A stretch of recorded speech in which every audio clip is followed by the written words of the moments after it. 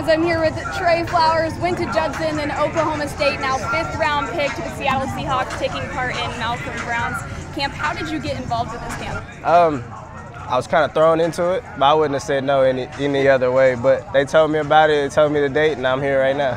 What do you say to these kids who are looking up to you today? Uh, just you know, just be a kid, just have fun. Don't don't look to don't look to the future so much. Please, it's, it's a lot of fun to be young. Being back here, are a lot of memories brought up from when you were younger? Definitely, you know, just going to camps around the city and doing my best to um, try to put San Antonio. I just I always love San Antonio, so anything for the city, I would do it. There's about like 13 guys in the league here from San Antonio. How cool is that? Do you guys talk a lot? Uh, yeah, Oklahoma State put three of them, so we pride ourselves on that. Even though he went to Texas, but um, yeah, it's just truly a blessing. We've been playing against each other our whole life, and now we probably do it on Sundays. So it's it's just a great feeling. What do you say to some of these kids? I just I just go up there and tell them have fun.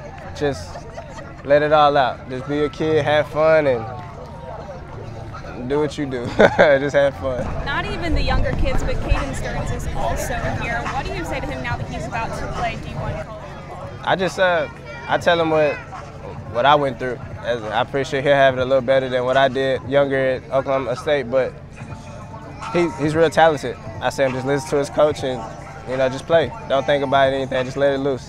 For you, for the rest of the next month before you go to training camp, what are your plans? Just working out. Same old stuff. I'm trying to keep it all the same. And Malcolm's a vet, so I'm going to listen to him as much as I can and keep on going. Well, congrats and good luck. Thank you. You're watching Sports2Nite, San Antonio's only nightly 30 minute sportscast with exclusive sports coverage you won't find anywhere else.